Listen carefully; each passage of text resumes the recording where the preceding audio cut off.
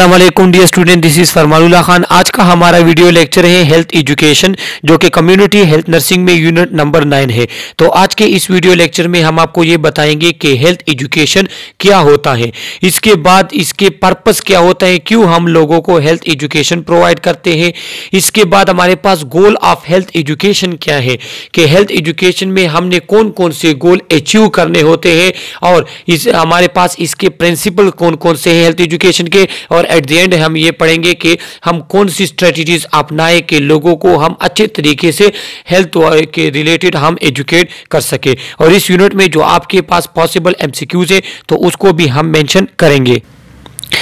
ये हमारे ऑब्जेक्टिव्स हैं आज की वीडियो लेक्चर के, जिसको हमने जो है कवर करना है। फ़र्स्ट ऑफ़ ऑल हमारे पास है कि हेल्थ एजुकेशन की डिफिनीशन इसके बाद टीचिंग एंड लर्निंग में क्या फ़र्क है? सेकंड हमारे पास ऑब्जेक्टिव्स हैं purpose and goal of health education third हमारे पास है principles of teaching learning fourth objective हमारे पास है various strategies of health education के। हेल्थ एजुकेशन जो है, उसके लिए हम कौन कौन सी स्ट्रेटेजीज जो है, उसको अपना सकते हैं।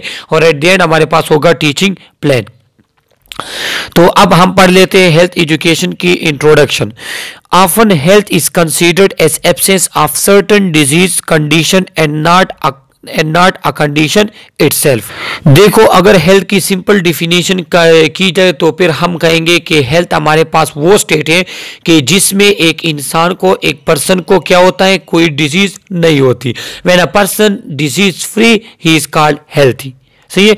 तो जो हमारे पास डिज़ीज़ फ्री होगा क्योंकि डिस इज़ मतलब अनइजीनेस तो अगर किसी पर्सन में कोई डिज़ीज़ कंडीशन नहीं है तो वो पर्सन हमारे पास क्या कहलाता है? हेल्थी कहलाता है। Subject of health education and promotion will try to change our mind set from curative to preventive and promotional aspects of health और जो हेल्थ एजुकेशन है तो उसका मेन मकसद क्या है? उसका मेन मकसद क्या है कि वो हमारे माइंड सेट को चेंज कर ले, ताकि हम ज़्यादा focus they prevention and promotion of health को बनस्बत क्यूरेशन ऑफ़ हेल्थ क्योंकि जब हम किसी डिज़ीज़ को प्रिवेंट करते हैं और अगर हम अपने हेल्थ को प्रमोट करते हैं तो ये हमारे पास इंतहाई ईजी होता है हेल्थी रहने के लिए। बनस्बत उसके कि अगर एक डिज़ीज़ हो जाए और आप फिर उसकी ट्रीटमेंट करें। लिहाजा हेल्थ एजुकेशन का मेन मकसद ही यही है कि आप किस तरह अपने हेल्थ को प्रिवेंट करेंगे या उसको प्रमोट करेंगे, आप प्रोमोट करेंगे अपने हेल्थ को। इसके बाद हमारे पास हेल्थ की definition W W H O की है, ये इंपॉर्टेंट डिफिनीशन है। इसको आप पूरी लाइफ में जो है बार बार इसे यूज़ करेंगे कि health is a state of complete physical mental social wellbeing and not mainly the absence of a disease or infirmity कि हमारे पास एक पर्सन हेल्थी होते हैं तो किस तरह हेल्थी होगा कि उसका जो फ़िज़िकल हेल्थ होगा, वो क्या होगा? कंप्लीट होगा। फ़िज़िकल हेल्थ में क्या आते हैं? फ़िज़िकल हेल्थ में ये कि उसे कोई डिज़ीज़ ना हो, उसके बॉडी की जितनी भी फ़ंक्शन है, वो नॉर्मल काम करे। सिस्टम है। इसके बाद हमारे पास मेंटल वेलबींग मेंटल वेलबींग किसे कहते हैं कि हमारे पास एक पर्सन स्ट्रेस फ्री होगा, वो डिप्रेशन फ्री होगा, उसे कोई टेंशन वगैरह नहीं होगी। इसके बाद सोशल वेलबींग के एक पर्सन सोशल सोशली एक्टिव होगा। वो लोगों के साथ उसका जो रिलेशन मेल जोल जो उसके सोशल के सोसाइटी के एक्सपेक्टेशन है, वो उस पर पूरा उतरेगा। तो फिर ये हमारे पास क्या कहलाता है? ये पर्सन हमारे पास हेल्थी कहलाता है और उसे ना तो कोई डिज़ीज़ होगी, ना कोई इन्फर्म इन्फर्मिटी होगी, ना उसके जो साइकोलॉजिकल कोई भी उसके सिस्टम वगैरह में प्रॉब्लम नहीं होगी। और जब ये चीज़ें होंगी तो ये पर्सन हमारे पास हेल्थी कहलाएगा और ये कहता ये हमारे पास डब्ल्यूएचओ की डिफिनेशन थी। इसके बाद हमारे पास है टीचिंग टीचिंग जैसे कि नेम से ज़ाहिर है कि हम जब किसी लो, लोगों को अप इंफॉर्मेशन ट्रांसफ़र करते हैं तो इसको कहते हैं टीचिंग जैसे कि अभी मैं ये लेक्चर परफॉर्म कर रहा हूँ तो ये इन एक फॉर्म ऑफ़ टीचिंग है। Teaching is an academic process by which students are motivated to learn in a way that make a positive influence on how they think act and feel देखो, जो हमारे पास स्टूडेंट्स होते हैं, वो वो thinking भी करते हैं, वो फीलिंग भी करते फील भी करते हैं, वो एक्टिंग वगैरह सब कुछ वो करते हैं। लेकिन टीचिंग में क्या किया जाता है? टीचिंग हमारे पास एक एकेडमिक प्रोसेस है, जिसमें स्टूडेंट्स को मोटिवेट किया जाता है, ताकि उनके जो करेक्टर्स हैं, उनके जो हमारे पास जितनी भी बिहेवियर्स है, उनकी जो थिंकिंग एक्शन वगैरह है, उन तमाम को पॉजिटिवली इन्फ्लुएंस किया जाए। और पॉजिटिवली इन्फ्लुएंस होंगे तो ये उनके लिए बेहतर होगा, उनकी सोसाइटी के लिए बेहतर होगा, उनकी फैमिली वगैरह के लिए। तो जब हम किसी पर्सन को, किसी स्टूडेंट्स को जब हम मोटिवेट कर ले कि उनके एक्शन थिंकिंग फीलिंग वगैरह को पॉजिटिवली इन्फ्लुएंस किया जाए तो ये हमारे पास प्रोसेस कहलाता है teaching teaching is an interaction between teacher and student under the teacher responsibility in order to bring about expected changes in the student behaviour और चूँकि हमारे पास टीचिंग स्टूडेंट और टीचर्स के दरमियान में होती है तो फिर क्या होते हैं हमारे पास ये एक इंटरेक्शन है टीचर और स्टूडेंट्स के दरमियान. सही है? और इसमें एक टीचर टीचर की हमारे पास क्या होती है? रिस्पॉन्सिबिलिटी होती है। To bring about expected changes in the student behaviour के वो स्टूडेंट के बिहेवियर में एक्सपेक्टेड चेंजेस ला सके। एक्सपेक्टेड चेंजेस क्या होंगे कि उसका बिहेवियर पॉजिटिव हो, वो लोगों की हेल्प करे, वो अपनी सेहत का ख्याल रखे, वो सोसाइटी का ख्याल रखे, उसके रूल्स रेगुलेशन का। तो जो एक्सपेक्टेड बिहेवियर है, जब कोई टीचर स्टूडेंट्स को जो है उस पर क्या कर लेता है परसुएट कर लेता है, उसको मोटिवेट कर लेता है तो फिर वो, उसमें वो एक्सपेक्टेड बिहेवियर लेकर आता है तो फिर इसको कहते हैं टीचिंग इसके बाद आ जाता है लर्निंग लर्निंग कहते हैं सीखना. The act process or experience of gaining knowledge और स्किल्स कि जब आप कोई नॉलेज कोई स्किल्स कोई प्रैक्टर कोई प्रोसीजर वगैरह सीखते हैं, इसको कहते हैं लर्निंग जिस तरह आप एग्ज़ाम्स के लिए क्या सीखते हैं? आप एग्ज़ाम्स के लिए अपना कोर्स वगैरह सीखते हैं. इस तरह आपका जो आपका जो प्रैक्टिकल स्किल्स होते हैं, जो लैब में आप सीखते हैं हॉस्पिटल में सीखते हैं, वो आपके प्रैक्टिकल स्किल्स में आता है। तो जब आप कोई चीज़ को सीखते हैं, उस प्रोसेस को कहते हैं लर्निंग नॉलेज और स्किल गेन थ्रू स्कूलिंग और स्टडी कि आप या स्कूल में या स्टडी वगैरह के थ्रू जब आप नॉलेज या स्किल गेन करते हैं, ये भी लर्निंग में आता है। Behavioural modification specially through experience और कंडीशनिंग देखो कि हमारे पास अगर एक पर्सन अनएजुकेटेड है, या एक पर्सन जिस तरह एक स्टूडेंट जो एफसी में था तो उसकी नॉलेज उसके बिहेवियरल अलग थे। लेकिन जब वो ग्रेजुएशन कर लेते हैं तो उसके नॉलेज में इंप्रूवमेंट आ जाती है। उसके बिहेवियरल मॉडिफिकेशन आ जाती है।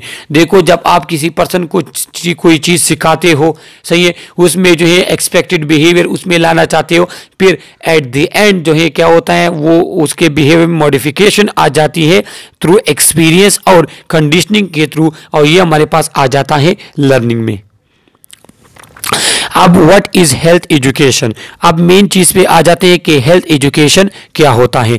Health education is a process that inform motivate and help people to adopt and maintain healthy practices and lifestyle देखो कि हेल्थ एजुकेशन हमारे पास क्या है कि वो तमाम प्रोसेसेस हैं, जिसमें आपने लोगों को इन्फॉर्म करना है हेल्थ रिलेटेड उसमें आप लोगों को मोटिवेट करेंगे। और आप लोगों की हेल्प आउट करेंगे कि वो ऐसे प्रैक्टिसेस अपनाए जो उनके लिए हेल्थी हैं, जो उनके हेल्थ के लिए हेल्पफुल हैं। उनका लाइफस्टाइल ऐसा हो जो उनके हेल्थ के लिए अच्छा हो। Educate environmental changes as needed to facilitate this goal and conduct professional training and research to the same and और जो इन्वायरमेंटल चेंजेस है, आप लोगों को उनसे इन्फॉर्म करेंगे। और जो आपके पास इससे रिलेटेड जो प्रोफेशनल ट्रेनिंग्स होते हैं, जो आपके पास एकेडमिक क्लासेस होती हैं, जो आपके पास रिसर्च वगैरह होती है, इन तमाम को परफॉर्म करेंगे और आपका मेन मकसद क्या होगा? आपका मेन मकसद ये होगा कि हेल्थ से रिलेटेड लोगों को नॉलेज मिल सके इन्फॉर्म हो। उसके बाद हेल्थी बिहेवियर वगैरह में आप लोगों को मोटिवेट कर सके। इसके बाद आप जो हेल्थी प्रैक्टिस लाइफ स्टाइल है, लोग उसको अपना ले। इसके बाद क्या होगा? जो आपके पास इन्वायरमेंटल चेंजेस हैं, लोगों को इसका पता हो। तो इन तमाम जो आप परफॉर्म करते हैं और इसका मेन मकसद क्या होता है कि एक पर्सन का, एक फैमिली का, एक कम्युनिटी का हेल्थ वेल बींग वो अच्छा रहे हेल्थी वो रहे लोग तो इसे कहते हैं हेल्थ एजुकेशन डिफिनीशन यहाँ पे आ जाती है कि health education is the process by which individuals and group of people learn to promote maintain and restore health ये तीन चीज़ें एमसीक्यूज के लिए आप याद रख लें कि हेल्थ एजुकेशन क्या है? कि वो एक प्रोसेस है जिसमें एक इंडिविजुअल को, एक ग्रुप को ये बात सिखाई जाती है कि वो किस तरह अपनी हेल्थ को प्रमोट कर सकते हैं, किस तरह अपनी हेल्थी लाइफ को मेंटेन रख सकते हैं और किस तरह अगर उन्हें डिज़ीज़ हो गई है तो वो किस तरह अपनी लाइफ को वापस से रिस्टोर कर सकते हैं। तो ये एजुकेशन जब आप लोगों को देते हैं, इसे कहते हैं health education education for health with people as they are with whatever interest they may have in improving their life condition और हेल्थ एजुकेशन हमारे पास स्टार्ट होती है तमाम लोगों के लिए। चाहे वो जिस भी इंटरेस्ट से हो, जिस भी उससे हो डिपार्टमेंट से हो, तमाम लोगों के लिए हमारे पास हेल्थ एजुकेशन है। और इस हेल्थ एजुकेशन का मतलब ये है कि जो लिविंग कंडीशन है, लोगों को उसको इम्प्रूव किया जाए।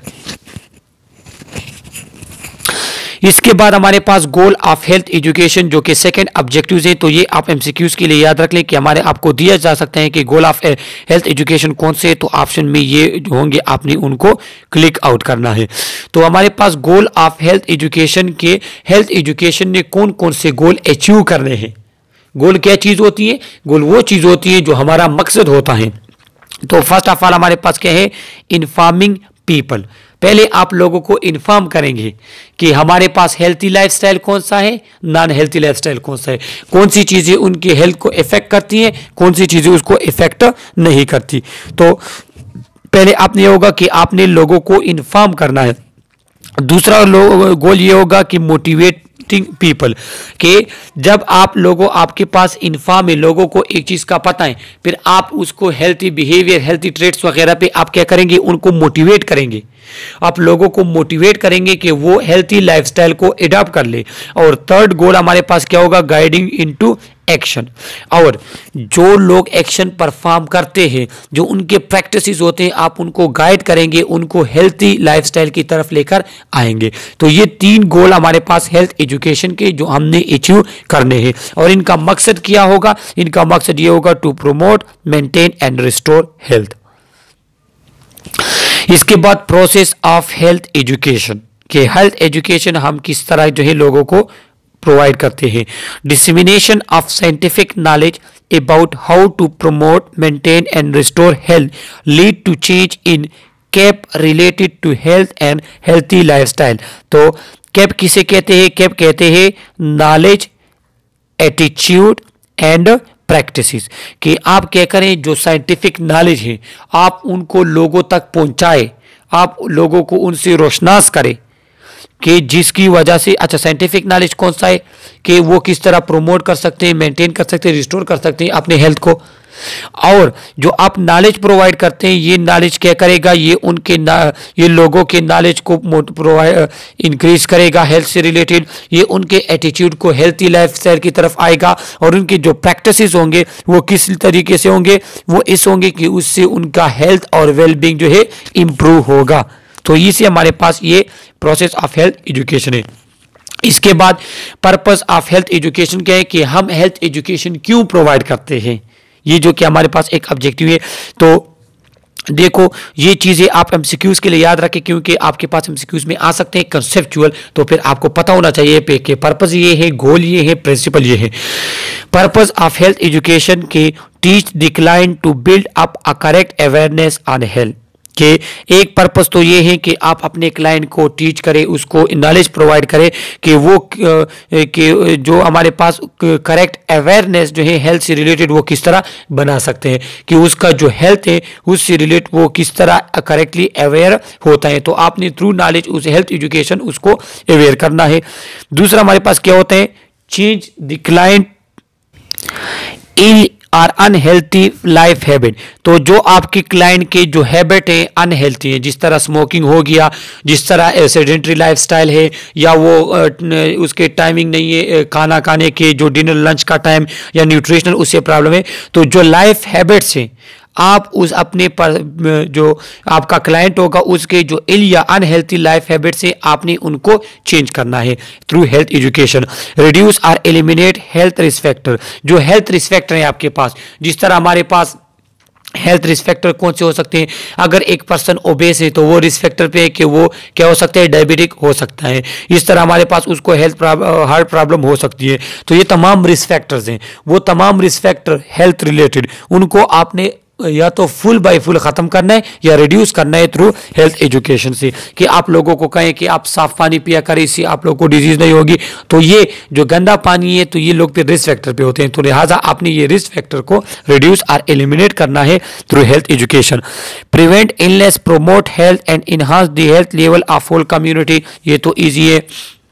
कि हम इलनेस को प्रिवेंट करते हैं। दूसरा जो हमारे पास हेल्थ प्रोमोशन है कम्युनिटी उसके वो भी हमने प्रोमोट करना है थ्रू हेल्थ एजुकेशन इसके बाद nurture well healthy behaviour and lifestyle आपने लोगों को हेल्थी बिहेवियर हेल्थी लाइफस्टाइल के बारे में आपने उनको क्या करना होगा? एजुकेट करना होगा। उस पर आपने तवज्जो देनी होगी कि वो किस तरह आ, उनके बिहेवियर और लाइफस्टाइल हमारे पास हेल्थी हो सकते हैं। इसके बाद principle of teaching and learning कि जो आप हेल्थ एजुकेशन में जो टीचिंग लर्निंग होती है, उसके प्रिंसिपल कौन कौन से होने चाहिए, जो कि हमारे पास स्टूडेंट का एक ऑब्जेक्टिव है। The principle of teaching and learning and related component state that student learn best जो हमारे पास प्रिंसिपल है टीचिंग लर्निंग के, वो क्या कहते हैं? वो कहते हैं कि हमारे पास स्टूडेंट अच्छी तरह लर्न कर सकते हैं। कब? जब हमारे पास क्या होगा? The learning environment is supportive and productive जो लर्निंग इन्वायरमेंट होगा, उसमें लोगों को, जो आपके स्टूडेंट्स होंगे, उनको सपोर्ट किया जाए, उनको मोटिवेट किया जाए, वो हमारे पास लर्निंग इन्वायरमेंट प्रोडक्टिव हो। वहाँ पे आपके पास अच्छे अच्छे रिज़ल्ट आए, वहाँ पे आपके पास इंप्रूवमेंट लोगों में आए तो फिर आपके पास क्या होगा? टीचिंग एंड लर्निंग आपके पास अच्छी होगी। फ़र्स्ट प्रिंसिपल तो ये है। दूसरा principle the learning environment promote independence interdependence and self motivation जो आपका लर्निंग इन्वायरमेंट है, वो क्या प्रोमोट करेगा? इंडिपेंडेंस ही प्रोमोट करेगा कि हर एक पर्सन इंडिपेंडेंट है। वो अपना हेल्थ लाइफस्टाइल को अपनाते हुए वो इंडिपेंडेंट है। हर पर्सन का किसी दूसरे के ऊपर इन्सार नहीं होना चाहिए। मीन्स हर पर्सन में वो तमाम एबिलिटी है कि वो अपने आप को हेल्थी रख सकता है। दूसरा, हमारे पास इंटरडिपेंडेंस इंटरडिपेंडेंस ये कि जब भी हम कोई फ़ंक्शन करें, कोई काम करे, कोई प्रोसीजर परफॉर्म करे तो इन कोऑर्डिनेशन हम करते हैं। जिस तरह अगर मैं आपको एग्जांपल दूँ कि केयर प्रोवाइड करना हॉस्पिटल में जो केयर प्रोवाइड किए जाते हैं तो ये सिंपल ओनली या तो नर्स या डॉक्टर या पैरामेडिक्स नहीं परफॉर्म कर सकते। बल्कि लोग एक दूसरे पे इंटरडिपेंडेंट होते हैं। आप लैब पे इंडिपेंडेंट इंटरडिपेंडेंट होते हैं। आप वहाँ पे जो एक्सरे वगैरह के जो हमारे पास होते हैं, उस पर आप इंडिपेंडेंट इंटरडिपेंडेंट होते हैं। तो ये through health education learning environment जो होगा, वो लोगों में स्टूडेंट्स में ये इंटर डिपेंडेंसी को प्रमोट करेगा। और इसके बाद होगा सेल्फ मोटिवेशन कि जो आपको रिवार्ड मिलते हैं, जो आपको अचीवमेंट होती है, वो आप में सेल्फ मोटिवेशन लेकर आती है। तो ये आपने क्या करना होगा? लर्निंग इन्वायरमेंट प्रोमोट करेगा। इसके बाद हमारे पास क्या होगा? Student needs backgrounds perspectives and interest are reflected in the learning programme और जो लर्निंग प्रोग्राम्स हैं जिस तरह आप स्कूल में कोई डिग्री वगैरह लोगों को देते हैं या कॉलेज में या कोई जो हमारे पास डिग्री लेते हैं या डिप्लोमा वगैरह जो भी करते हैं तो उसमें क्या करेंगे? वो लर्निंग प्रोग्राम पे कौन कौन सी चीज़ें इफ़ेक्ट होती हैं? हमारे पास असरअंदाज होती है नीड्स स्टूडेंट नीड्स कि आप लर्निंग जो आप प्रोग्राम आपने अरेंज किया हुआ है तो उसमें स्टूडेंट्स की नीड जो होंगे तो वो किस तरीके से? आया आप उसको पूरा कर रहे हैं या नहीं पूरा कर रहे इस तरीके से उनका बैकग्राउंड उनका परस्पेक्टिव एंड इंटरेस्ट कि उनका इंटरेस्ट किस फ़ील्ड में? अगर आपके पास स्टूडेंट बैठे हुए हैं वो मेडिकल फ़ील्ड में जाना चाहते हैं और आप क्या करना कर, करते हैं आप उसको इंजीनियरिंग साइड पे टीचिंग दे रहे होते उस पर आप उसको सिखा रहे होते तो नहीं ऐसा नहीं होगा। ये आपके लर्निंग प्रोग्राम पे इफ़ेक्ट होगा। लिहाजा जो हमारे पास क्या होते हैं लर्निंग प्रोग्राम पे रिफ्लेक्ट हमारे पास होती है वो needs student background perspective and interest और आपके पास लर्निंग इन्वायरमेंट में ये चीज़ें चेंज भी हो सकती है। ये लर्निंग प्रोग्राम जो है, इसको रिफ्लेक्शन देता है कि स्टूडेंट्स नीड को आपने, क्योंकि स्टूडेंट्स को पहले पता नहीं होता कि हेल्थ रिलेटेड कौन कौन से नीड्स होने चाहिए, उनको पता चल जाता है। तो आपका लर्निंग प्रोग्राम जो है, वो इन चीज़ों को रिफ्लेक्ट करता है। Student are challenge and supported to develop deep level of thinking and application आप स्टूडेंट को चैलेंजिंग देंगे आप उनको मिशन देंगे आप उनको टास्क प्रोवाइड करेंगे और जो, आप जो स्टूडेंट जो डीप थिंकिंग है जो एप्लीकेशन है जो वहाँ पे प्रोसीजर वगैरह परफॉर्म होते हैं उसमें आपने इन स्टूडेंट को सपोर्ट भी करना है। ये भी हमारे पास एक प्रिंसिपल है। इसके बाद assessment practice are an integral part of teaching and learning जो आपके असिसमेंट प्रैक्टिस हैं, कि स्टूडेंट्स किस तरह असिस कर असिसमेंट करेंगे और जो आप लर्निंग उन्हें प्रोवाइड कर रहे हैं तो उसको आपने बार बार बार बार टाइम बाय टाइम असिस्ट करना होगा कि आया जो इन स्टूडेंट्स को लर्निंग मिल रही है तो ये लर्निंग सही है? ये उनकी नीड के मुताबिक है, इनमें तो कोई प्रॉब्लम नहीं है। इसके बाद learning connect strongly with communities and practice beyond the classroom और जो आप उनको लर्निंग प्रोवाइड कर रहे हैं, जो आप उनको नॉलेज प्रोवाइड कर रहे हैं तो उसको आप रिलेट करेंगे कम्युनिटी या उसके फैमिली जो प्रैक्टिस होती है, उसके साथ। किस तरह कि अगर आप एक स्टूडेंट्स को क्लास में हैंड वॉशिंग जो है बताते हैं। तो फिर आपने उसको ये कहना होगा कि आप इस हैंड वॉशिंग घर में भी इस तरह करेंगे। टूथ ब्रशिंग आप उसको क्लास में सिखाते हैं, आप उसे कह रहे हैं कि यह कम्युनिटी में आपने परफॉर्म करना है। तो जो आप लर्निंग इन्वायरमेंट में सिखाते हैं, फिर आपने उसको इन्वायरमेंट या कम्युनिटी प्रैक्टिस के साथ क्या करना होगा? उसके साथ कनेक्ट करना होगा। This principle can be use by school team of teachers and individual to reflect on practices and support professional dialogue to strengthen teaching and strengthen teaching practices तो ये जो हमारे हमने प्रिंसिपल पढ़ लिए तो ये क्या होता है कि ये हमारे पास वो तमाम प्रिंसिपल है जो या तो स्कूल में यूज़ होते हैं या टीचर यूज़ करते हैं या किसी भी या कम्युनिटी पे या कहीं जगह पे जो है आप जब टीचिंग वगैरह देते हैं तो इन तमाम प्रिंसिपल को आप जो है आपने इसको सामने रखना होगा, इसको अपनाना होगा। इसके बाद हमारे पास कुछ बाकी प्रिंसिपल वो है, वो क्या है कि इंटरेस्ट कि जहाँ पे भी आप हेल्थ एजुकेशन दे रहे होते हैं तो आपको पता होना चाहिए कि जो टीचिंग कर रहे हैं उसका इंटरेस्ट है या नहीं। जो सामने बैठे हुए उसका इंटरेस्ट है या नहीं तो आपने क्या करना होगा, उन लोगों में आपने इंटरेस्ट पैदा करना होगा। एक ये प्रिंसिपल है। दूसरा, आपके पास पार्टिसिपेशन कि जो आप टीचिंग करते हैं, जो आप हेल्थ एजुकेशन प्रोवाइड करते हैं तो आप ये तब इफ़ेक्टिव होगा जब लोग आपके पास पार्टिसिपेट करेंगे। कम्युनिटी आपके पास पार्टिसिपेट करेगी, तब आपका हेल्थ एजुकेशन जो होगा, वो इफ़ेक्टिव होगा। Proceed from known to unknown और आपने नॉन स्पेसिफिक से जनरल तक इसको प्रोसीड करना है कि किस तरह कि अगर आपके पास कोई स्टूडेंट्स है तो वो तो उसको पता है, वो तो जानते हैं। लेकिन जब आप स्कूल बच्चे को स्कूल में टीच करते हैं तो फिर आप उसे कहते हैं कि इसको आप फैमिली मेंबर के साथ भी शेयर करें और आप इसको फैमिली में भी प्रैक्टिस करें कम्युनिटी में प्रैक्टिस करें। तो फिर क्या हो जाता है कि आपके पास ये जो लर्निंग है, ये नॉन से अननोन तक हमारे पास प्रोसीड हो जाती है। कंप्रीहेंशन हमारे पास प्रिंसिपल है कि एक्सप्लेनेशन के साथ आपने हर एक प्रोसीजर अपने स्टूडेंट्स को सिखाना होता है। री इन्फोर्समेंट बाई रिपीटेशन रिपीट एक चीज़ अगर हमारे पास इंपॉर्टेंट है और एक फ़र्स्ट अटेम्प्ट में कोई पिक नहीं करता तो बार बार आपने वो चीज़ रिपीट करनी होगी और री इन्फोर्स करना होगा लोगों को। मोटिवेशन आपके पास है लर्निंग बाई डूइंग कि हमारे पास जो प्रैक्टिस वर्क होते हैं, जो स्किल्स होते हैं क्या है कि वो लोग लर्न करते हैं डूइंग के साथ प्रैक्टिस के साथ, वो उसको लर्न करते हैं गुड ह्यूमन रिलेशन तो ये हमारे पास क्या है? ये हमारे पास प्रिंसिपल्स है किसके टीचिंग एंड लर्निंग के। अब a approach to health education कि अगर हम लोगों को हेल्थ एजुकेशन प्रोवाइड करना चाहते हैं या करते हैं तो इसका एक प्लान अप्रोच क्या है? प्लान अप्रोच ये होगा कि हमारे पास फ़र्स्ट ऑफ़ ऑल क्या है कि assessing the need and assist of the priority population कि आप ये देखेंगे कि एक पॉपुलेशन जिसको आप हेल्थ एजुकेशन प्रोवाइड करना चाहते हैं, वहाँ के लोगों की नीड्स क्या हैं?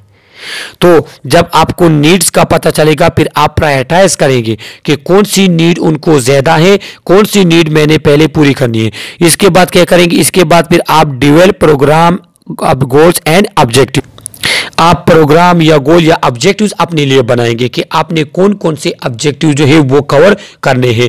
फिर जब आप ऑब्जेक्टिव्स बना लेते हैं, फिर आपने इंटरवेंशन प्लानिंग करनी है कि ऑब्जेक्टिव्स मेरा मकसद तो ये है कि मैं लोगों को हैंड वॉशिंग सिखा लूँ।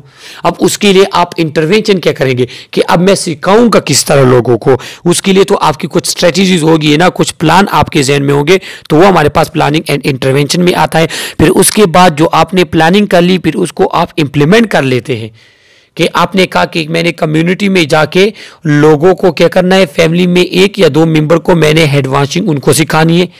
तो ये फिर आपने प्लानिंग बना ली। फिर आप कम्युनिटी में जाते हैं, वहाँ पे क्या करते हैं? वहाँ पे उनको सिखाते हैं। इसको कहते हैं इम्प्लीमेंटेशन कि जब आप प्लान को प्रैक्टिकल में कन्वर्ट करते हैं तो इसको फिर कहते हैं इम्प्लीमेंटेशन इसके बाद क्या होता है? Evaluating the importance of intervention जो आपने इंटरवेंशन उनको प्रोवाइड की। सही है? तो फिर आप क्या करेंगे? एवेलुएट करेंगे कि आया, जो मैंने इनको चीज़ें सिखाई, कि उनका रिज़ल्ट क्या हुआ, उन्होंने उनको पिक किस की तरह किया। इसके बाद engaging and understanding the priority population इसके बाद क्या होंगे कि जो आपके पास हेल्थ एजुकेशन जो होते हैं, या जो हमारे पास स्किल्स होते हैं या जो चीज़ आपने उनको हेल्थ एजुकेट की तो फिर आपने उसकी एवेलुएशन करनी है, किसमें, आप पॉपुलेशन में आपने उसकी एवेलुएशन करनी है। तो ये जो हमारे पास स्टेप्स हैं ये जो हमारे पास स्टेप्स है, ये फ़र्स्ट जो है, ये हमारे पास सॉरी ये हमारे पास फ़र्स्ट स्टेप है। पहले आप क्या कर लेते हैं, पहले आप पॉपुलेशन में जा, चले जाते हैं और वहाँ पे क्या करते हैं, वहाँ पे आप लोगों की नीड्स को चेक करते हैं। सही है? तो ये हमारे पास क्या हुआ? ये हमारे पास हो गया फ़र्स्ट स्टेप इसके बाद सेकेंड स्टेप फिर हम एसिस करते हैं नीड्स को। इसके बाद हम फिर प्रोग्राम या गोल सेट करते हैं। गोल के बाद फिर हम प्लानिंग करते हैं कि हमने क्या क्या करना होगा और जो हमने चीज़ें प्लान की होती हैं, फिर उसको हम इम्प्लीमेंट कर लेते हैं। और फिर इम्प्लीमेंटेशन के बाद हम एवेलुएट कर लेते हैं कि जो प्लानिंग हमने की थी, उसका रिज़ल्ट क्या आया है। तो इसका सिक्वेंस आपको एम के लिए याद होना चाहिए। और ये बात मैंने पहले नहीं बताई, लेकिन अब बताता हूँ, ये हमारे पास फ़र्स्ट स्टेप है। सही है? अब strategies for health education practice हमने कौन कौन सी स्ट्रेटजीज अपनानी है कि वो हम हेल्थ एजुकेशन को प्रैक्टिस कर ले? यहाँ पे लिखा हुआ है कल्चर स्पेसिफिक देखो, जो भी स्ट्रेटजी आप अपनाते वो कल्चर स्पेसिफिक होना चाहिए कि जिस कल्चर लोगों को आपने हेल्थ एजुकेशन देनी है तो वो आप उनके कल्चर के मुताबिक होना चाहिए। क्योंकि अगर उसके कल्चर के स्पेसिफिक ना हुआ तो वो इसको एक्सेप्ट नहीं करेंगे। इंडिविजुअल इंडिविजुअल बेस पे क्या होगा? इसमें हम फेस टू फेस टीचिंग देते हैं या एजुकेशन थ्रू स्पोकन वर्ड्स हमारे पास होता होता है। इसमें क्या होता है कि या तो नर्सिस प्रोवाइड करती है या हेल्थ विजिटर या सोशल वर्कर्स जो हमारे पास होती है। तो आप face to face individual to individual जो है वो क्या करती है? एजुकेट करती है लोगों को। इसके बाद हमारे पास सेकेंड आ जाता है group lesson and lecture in schools lecture in workplace in factories demonstration and training या रोल ए प्ले तो ये हमारे पास क्या है कि ये हम एक ग्रुप को प्रोवाइड करते हैं ये एजुकेशन जिस जिस तरह हमारे पास क्लास में आप स्कूल क्लास या यूनिवर्सिटी क्लास जहाँ पे भी क्लास में आप आग, आप एजुकेट करते हैं लोगों को इस तरह जो कहीं पे फैक्ट्री है जहाँ पे आपके पास डिफरेंट टाइप ऑफ़ वर्कर्स हैं। सही है? तो उसको आप थ्रू वॉइस या वहाँ मीटिंग के ज़रिए आप जब उनको एजुकेट करते हैं, या हमारे पास क्या होता है? डिमोस्ट्रेशन एंड ट्रेनिंग ट्रेनिंग के थ्रू जिस तरह हमारे पास टेन डेज़ ट्रेनिंग होता है फिफ्टीन डेज़ ट्रेनिंग होते हैं डिफरेंट चीज़ों को, जिस तरह हमारे पास आर्मी वगैरह की जो ट्रेनिंग होती है तो वो उनको एजुकेट किया जाता है। तो क्या होते हैं? हमारे पास डिमॉन्स्ट्रेशन या ट्रेनिंग के थ्रू और रोल प्लेइंग के थ्रू भी जो हमारे पास स्किल्स होते हैं, जो हमारे पास डेमो पेश करते हैं, जो हमारे पास सेमिनार में जो वीडियो फॉर्म में लोगों को दिखाते हैं रोल प्लेइंग तो इसके थ्रू हम क्या करते हैं? हेल्थ एजुकेशन प्रोवाइड कर सकते हैं एक ग्रुप्स को। सही है? इसके बाद हमारे पास आ जाता है मास मीडिया। मास मीडिया जो हमारे पास है ब्रॉडकास्टिंग रेडियो टीवी हमारे पास written words newspaper poster booklets या और भी हमारे पास जिस तरह मस्जिदों वगैरह में किसी चीज़ के बारे में बताया जाता है तो ये मास मीडिया कहलाते हैं। मास मीडिया कि जब आप ऑनलाइन टीवी के थ्रू न्यूज़पेपर के थ्रू पोस्टर के थ्रू या कोई बुक के थ्रू या आपके पास जो है यूट्यूब चैनल जिस तरह मैं आप लोगों को अभी ये लेक्चर पढ़ा रहा हूँ तो इसके थ्रू हमारे पास क्या होता है? हेल्थ एजुकेशन होती है थ्रू मास मीडिया तो ये आप तीन एमसीक्यूज के लिए याद रख दें इसके बाद कंटेंट ऑफ़ हेल्थ एजुकेशन क्या होगा? कि हेल्थ एजुकेशन में हम लोगों को किस किस चीज़ के बारे में बताएँगे? फ़र्स्ट ऑफ़ ऑल हमारे पास हो जाती है ह्यूमन बायोलॉजी ह्यूमन बायोलॉजी क्या है? कि आपकी लाइफ क्या है? इसकी रिक्वायरमेंट्स क्या है? इसकी नीड्स क्या है? आपने अपनी लाइफ को किस तरह स्पेंड करना है? आपकी लाइफ किन किन चीज़ों पर डिपेंड करती है? किन किन चीज़ों पर आपकी लाइफ इफ़ेक्ट होती है? इसके बारे में हम हेल्थ एजुकेशन में बताते हैं। इसके बाद न्यूट्रिशन के बारे में कि बैलेंस डाइट कौन सा है? किस स्टेज पे आपको क्या क्या न्यूट्रिशन की ज़रूरत है? अप्लाइड न्यूट्रिशन का तमाम लेक्चर हमारे चैनल पे मौजूद है। जिसका प्लेलिस्ट का लिंक मैंने डिस्क्रिप्शन में दिए हुए हैं तो वहीं से जाके आप वो लेक्चर पढ़ सकते हैं। तो न्यूट्रिशन भी हम हेल्थ एजुकेशन में प्रोवाइड करते हैं कि आपने कौन कौन सी न्यूट्रिशन किस किस टाइम पे लेनी है। इसके बाद हमारे पास हाइजीन भी हम प्रोवाइड करते हैं। हाइजीन के पर्सनल हाइजीन आपने हैंड वॉशिंग करनी है, आपने माउथ वॉश करना है, आपने फेस जो है, धोना है, इसके बाद बात आपने लेनी है तो जितने भी आपके पास पर्सनल हाइजीन है, उसके बारे में भी हम हेल्थ एजुकेशन में बताते हैं और इन्वायरमेंटल हाइजीन जो होते हैं, आपने वाटर पॉल्यूशन वगैरह इसको बचाना है, आपने एयर पॉल्यूशन वगैरह प्रिवेंट करना है, इसके बारे में। इसके बाद इसके बाद हमारे पास आ जाते हैं फैमिली हेल्थ केयर जो फैमिली हेल्थ केयर होते हैं, जो फैमिली प्लानिंग होती है, जो आपके फैमिली सपोर्ट वगैरह होते हैं फाइनेंशियल वगैरह, इन तमाम चीज़ों को भी हम थ्रू हेल्थ एजुकेशन बताते हैं। इसके बाद control of communicable and non communicable disease communicable disease हमारे पास वो होती है जो through droplet through sexual contact या वैसे कंटेक्ट के थ्रू वाटर वगैरह शेयर करने से एक पर्सन से दूसरे पर्सन में कम्युनिकेट होती है ट्रांसफ़र होती है। और नॉन कम्युनिकेबल डिज़ीज़ वो जो ट्रांसफ़र नहीं होती। तो आपने क्या करना होगा, इसके कंट्रोल जो है, वो भी लोगों को आपने बतानी होगी। इसके बाद मेंटल हेल्थ मेंटल हेल्थ में क्या आता है कि हमारे पास लोग जो डिप्रेशन का शिकार होते हैं तो आपने ये बताना है कि आप किस तरह अपने स्ट्रेस को एनजाइटी को, अपने डिप्रेशन वगैरह को किस तरह आपने कोप करना है। कोप कहते हैं कि जब आप उसको जो है कम से कम कर ले, अपने डिप्रेशन वगैरह को आप किस तरह ख़त्म करेंगे, उस स्ट्रेटजीज जो आप अपनाते हैं, उसको कहते हैं कोपिंग मैकेनिज्म इसके बाद प्रिवेंशन ऑफ़ एक्सीडेंट्स जो आपके पास एक्सीडेंट होते हैं जो रोड ट्रैफ़िक एक्सीडेंट है, या जो कहीं फैक्ट्री पे हमारे पास है, या कहीं घर में आपके पास जो इलेक्ट्रिसिटी रिलेटेड जितने भी एक्सीडेंट्स आपके पास होते हैं तो आप लोगों को टीच करेंगे कि आपने इनको प्रिवेंट करना है। यूज़ ऑफ़ हेल्थ सर्विसेज़ और जो हेल्थ सर्विसेज़ उनको प्रोवाइड की जाती है, जो प्राइमरी हेल्थ केयर प्रोवाइड किए जाते हैं, जो उनको वैक्सीनेशन प्रोवाइड की जाती है तो इसके बारे में भी आपने लोगों को एजुकेट करना होगा। क्योंकि अक्सर लोग हमारे पास इस तरह होते हैं, जो वैक्सीन वगैरह नहीं लगाते। तो फिर आपने एजुकेट करना है कि नहीं ये वैक्सीन आपके फ़ायदे के लिए है। इसके बाद हमारे पास सेक्स एजुकेशन आ जाते हैं। Sex education reproductive education family planning इसमें आती है। वो कौन सी डिज़ीज़ है जो सेक्सुअल ट्रांसमिटेड डिज़ीज़ जो आ, हमारे पास अन इलीगल सेक्स के साथ जो है वो एक दूसरे से ट्रांसफ़र होती है। तो ये तमाम जो है आपके पास सेक्स एजुकेशन वो भी आपने हेल्थ एजुकेशन में लोगों को प्रोवाइड करनी है। स्पेशल एजुकेशन फॉर ग्रुप जो food handles occupation mother school health etcetera आपने डिफरेंट ग्रुप्स को स्पेशल एजुकेशन भी प्रोवाइड करने किस तरह?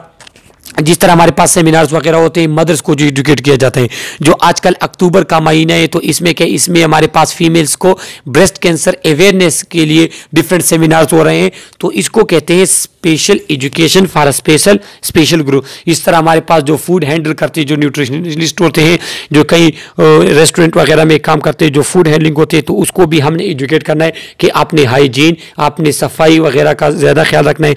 इसके बाद principle of healthy life sleep हो गए एक्सरसाइज होगा न्यूट्रिशन वगैरह हो गए, इसके थ्रू हमने क्या करना है, इसके बारे में भी हमने लोगों को अवेयर करना है। इसको बताना है कि आपके हेल्थी लाइफस्टाइल के कौन कौन से प्रिंसिपल है। और एट द एंड जो हमारे पास है कि health education occur in a variety of place this include health education हम डिफरेंट जगहों पे प्रोवाइड कर सकते हैं। जिस तरह हमारे पास हो गया स्कूल्स ये नर्सिंग स्कूल वगैरह जो है, जो मेडिकल कॉलेजेस वगैरह है तो इसमें हम हेल्थ एजुकेशन प्रोवाइड करते हैं। दूसरा हमारे पास है वर्क साइट फैक्ट्रीज किस कहीं कंपनी वगैरह में या किसी पब्लिक वगैरह में जहाँ पे वर्क प्लेस होते हैं, उसमें लोगों को हम एजुकेट कर सकते हैं। हेल्थ केयर ऑर्गेनाइजेशन जो हमारे पास होते हैं, जो हेल्थ केयर के बारे में एजुकेट करते हैं, जो हेल्थ केयर प्रोवाइड करते हैं, उस उस जगह पे हेल्थ डिपार्टमेंट जो हमारे पास, जो अक्सर हॉस्पिटल्स वगैरह में हमारे पास क्या होते हैं, वहाँ पर मीटिंग्स होती हैं, इस तरह मेडिकल यूनिवर्सिटीज़ वगैरह में मीटिंग होती है, वहाँ पर आप लोगों को एजुकेट करते हैं। सेमिनार हमारे पास होते हैं वर्कशॉप होते हैं, उसमें वॉलेंट्री हेल्थ एजेंसीज जो हमारे पास पास हेल्थ एजेंसीज होती हैं, जो हमारे पास एन वगैरह होती हैं, उसमें भी आप कर ले सकते हैं हेल्थ एजुकेशन प्रोवाइड करते हैं। इसके बाद कम्युनिटी सेटिंग में जो है आप हेल्थ एजुकेशन प्रोवाइड करते हैं कि जिस तरह हमारे पास ये डिफरेंट डायबिटीज़ वगैरह को किस तरह आप रोकेंगे, इस तरह जो स्मोकिंग वगैरह के बारे में हमारे पास कम्युनिटी में जो प्रोग्राम वगैरह अरेंज होते हैं तो उसमें आप जो है हेल्थ एजुकेशन प्रोवाइड करते हैं। अब हमारे पास आ जाता है कंपेरिजन ऑफ़ सेटिंग कि डिफरेंट सेटिंग में आप किस तरीके से लोगों को प्रोवाइड करते हैं हेल्थ एजुकेशन स्कूल में हम क्या करते हैं, उनको एजुकेशन प्रोवाइड करते हैं, और इसमें हमारे पास स्टूडेंट्स होती हैं, और हमारे पास क्या होती है, हमारे पास हो जाते हैं एडालोसेंस इसके बाद वर्क साइट पे आप क्या करते हैं कि produce goods and services make a profit if applicable कि आप जो वहाँ पे चीज़ें यूज़ होती हैं वहाँ पे आप जो आ, हमारे पास चीज़ें यूज़ होती हैं तो वो क्या होगी वो ऐसी प्रोडक्ट्स आपके पास आए जो हेल्थ हेल्थी हो। सही है? और आपको ज़्यादा से ज़्यादा अच्छा से अच्छा प्रॉफिट हो। Consumer of product and services और क्या होते हैं कि वहाँ पे जो प्रोडक्ट को कंज्यूम करते हैं, वो भी इंक्लूड है और जो सर्विसेज़ प्रोवाइड करते हैं, वो भी इंक्लूड है। इन दोनों को आप सर्विस प्रोवाइड करते हैं। हॉस्पिटल में क्या होता है कि जो इल पर्सन होते हैं, जो ट्रामा के साथ होते हैं, उनको ट्रीट किया जाता है और इसमें हमारे पास आ जाते हैं पेशेंट इसके बाद कम्युनिटी प्राइमरी केयर सेटिंग वहाँ पर क्या किया जाता है, वहाँ पर डिज़ीज़ को प्रिवेंट किया जाता है कि आप किस तरह जो है वो डिज़ीज़ को प्रिवेंट करेंगे। इसके बाद जो है आप किस तरह अपने इल, इलनेस वगैरह को ट्रीट करेंगे इसमें भी पेशेंट आते हैं। इसके बाद हेल्थ डिपार्टमेंट जो हमारे पास है। जो हमारे पास हेल्थ डिपार्टमेंट है, उसमें क्या, उसमें chronic infection disease prevention control के बारे में हम लोगों को रोशनास करते हैं। जिस तरह हमारे पास हेल्थ डिपार्टमेंट हो गया, ये टीचिंग ये मेडिकल कॉलेज वगैरह हो गया, वहाँ पे हम इसको, वो किया जाता है। इस तरह हमारे पास जो हेल्थ डिपार्टमेंट उसमें थ्रू वीडियोज़ वगैरह के थ्रू लोगों को क्या किया जाता है? सर किया जाता है, इसमें हमारे पास आ जाते हैं पब्लिक इसके बाद वॉलेंट्री हेल्थ एजेंसी जो वॉलेंट्री हेल्थ एजेंसी है, वो भी डिज़ीज़ के प्रिवेंशन की पे डिज़ीज़ के कंट्रोल पे डिज़ीज़ डिफरेंट कंडीशन जो हमारे पास डिज़ीज़ रिलेटेड है, उसके लिए लोगों को इन्फॉर्म करती है। और इसमें भी हमारे पास क्या आता है? पब्लिक आते हैं। एट द एंड हमारे पास आ जाता है evaluation of health education programme देखो आपके हेल्थ एजुकेशन प्रोग्राम में या जितने भी आप हेल्थ एजुकेशन के थ्रू सर्विसेज़ प्रोवाइड करते हैं, इसकी एवेलुएशन होनी चाहिए। लेकिन एवेलुएशन होगी continuous evaluation should not be left to the end but monitoring should be done from time to time for purpose of making required modification to achieve better result कि जो आपके पास एवेलुएशन एवेलुएशन ये कि हम check करते हैं कि आया, जो सर्विसेज़ हमने प्रोवाइड की, इसका फ़ायदा हुआ या नुकसान? अगर फ़ायदा हुआ तो कितना परसेंट परसेंट हुआ। तो कहते हैं, ये एवेल्युएशन आपने टाइम टू टाइम करनी है, जो अब आप हेल्थ सर्विस लोगों को प्रोवाइड करते हैं। ये हमारे पास हेल्थ एजुकेशन का लास्ट स्लाइड था। इस यूनिट में अगर आपको कोई भी क्वेश्चन हो थ्रू कमेंट आप हमसे पूछ सकते हैं। लाइक करें हमारी वीडियो को सब्सक्राइब करें। Okay thank you